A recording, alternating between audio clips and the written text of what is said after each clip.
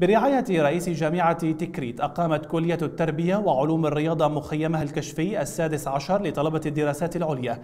وتضمن المخيم إجراء العديد من الفعاليات لتعليم التلاحم والإسعافات الأولية مع مراعاة تطبيق شروط الوقاية من فيروس كورونا.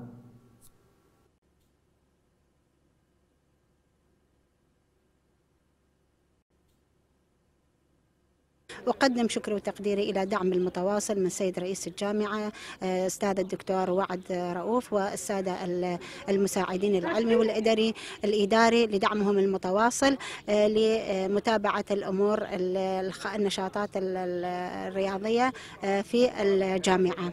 المخيم الكشفي عبارة عن تربية كشفية شاملة كيف ممكن الطالب يتعلم التعاون. تقييم كلية التربية البدنية التقنية وعلوم الرياضة في جامعة تكريت المخيم الكشفي السادس عشر وهذا المخيم يقام سنويا وطلبة الصف الأول في الكلية.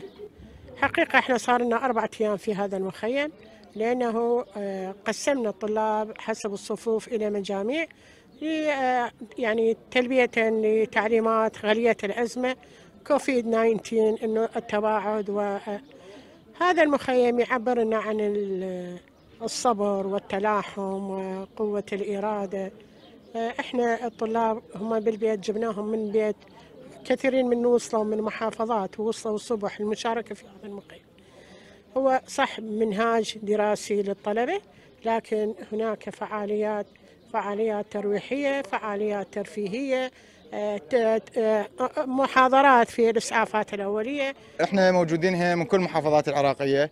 واكيد مترابطين بيناتنا ومترحمين بيناتنا. إحنا ملتزمين بشروط خلطه الأزمة.